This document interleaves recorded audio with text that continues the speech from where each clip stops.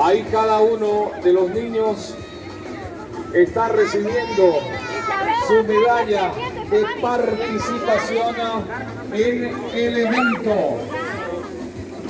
El trofeo que está alzando el profe es el trofeo del club.